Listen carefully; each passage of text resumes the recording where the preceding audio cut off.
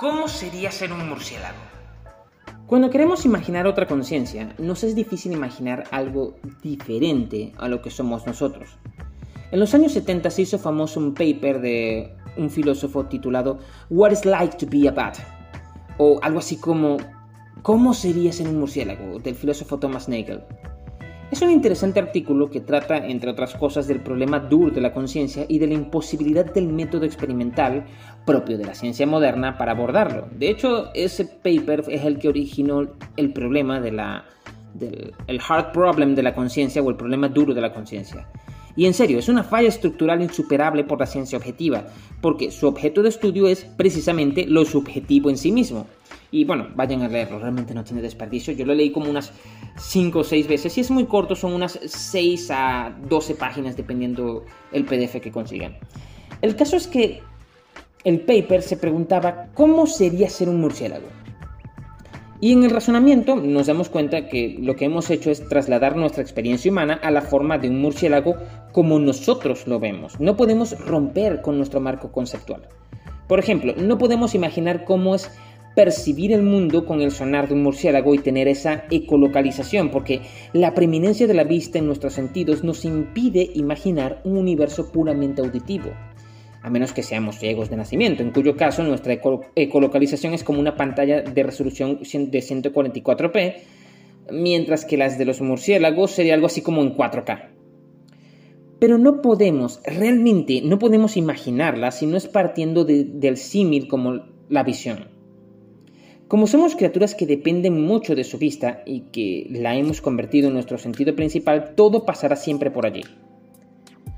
En su libro de 2018, de un, pensador británico llamado Rupert Glasgow, bueno, un traductor realmente, eh, un libro titulado Minimal Selfhood and the Origin of Consciousness, o La individualidad mínima y el origen de la conciencia, que no sé si lo he traducido bien, el autor toma puntos semejantes a los de Nagel, y postula que la conciencia no es quizás un rasgo solamente humano, como algunos autores proponen, y ni siquiera propio de los seres superiores, sino que se encuentra en cualquier organismo vivo que pueda separarse como individuo o saberse a sí mismo como un individuo. Jugando con la metáfora de Nagel del murciélago, él toma a una ameba, un organismo unicelular, y analizándolo observa que la ameba como individuo reconoce su propio ser, sabe del adentro y del afuera y está, al menos en apariencia, consciente de su entorno, es decir, interactúa con él más allá del juego del estímulo y la respuesta. Aunque este punto es ciertamente debatible, porque básicamente nosotros también jugamos bajo un elaborado y complejo sistema de estímulos y respuestas. Pero la existencia del debate demuestra que la conciencia no puede ser un atributo exclusivamente humano y que hay al menos una duda razonable al respecto. Claro, existirán ciertas escalas y gradaciones para hablar de conciencia, pero tampoco es como si una ameba fuese a escribir una réplica a la crítica de la razón pura. La ameba no tiene el sentido de la vista, o del oído, pero sí posee el gusto, el tacto y el olfato. Es decir, su sistema es capaz de reconocer olores en el ambiente y rastrear comida. Sabe cuando otra criatura la está tocando, y esto es fundamental para la defensa y el ataque, y puede detectar la naturaleza química de lo que está ingiriendo, es decir, posee el gusto, más o menos. Nuestra propia naturaleza visual u ocular nos hace pensar que la vida de la meba es oscura y silenciosa, porque, bueno, no tiene vista. Pero en realidad hay mucha luz y ruido en ella.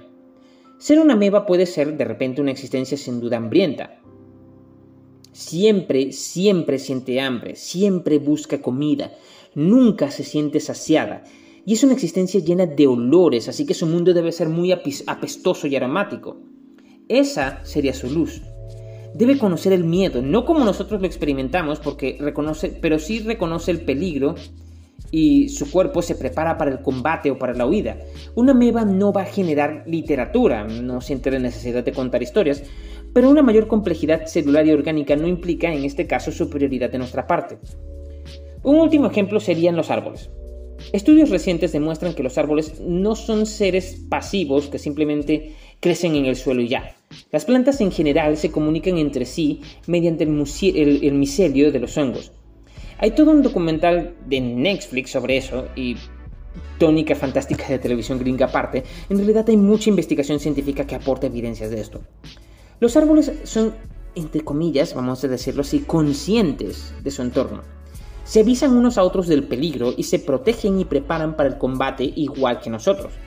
Si bien no tienen un sistema nervioso, tienen un análogo del dolor, una respuesta electroquímica que dispara una reacción de estrés en la planta tan violenta y que en realidad es como si la planta estuviera gritando, solo que con reacciones bioquímicas. Pero ¿acaso no es así como funciona nuestro cuerpo? Entramos en estrés generando y generamos grandes cantidades de adrenalina y nuestro cuerpo cambia su estado bioquímico para realizar un gran gasto de energía con el objetivo de preservar la integridad física del sistema. ¿Acaso porque no es un sistema basado en neuronas no cuenta como conciencia y como dolor? Esta es una cosa difícil de responder y claro, detrás siempre están nuestros prejuicios antropocéntricos y toda esa parte, pero hay mucha tela que cortar al respecto y hay de hecho toda una gran bibliografía al respecto. Eh, los más famosos son, dos, eh, son tres textos. El de Fantastic Fungi, del que se deriva el documental de Netflix. El de The Hidden Life of Tree o La vida secreta de los árboles.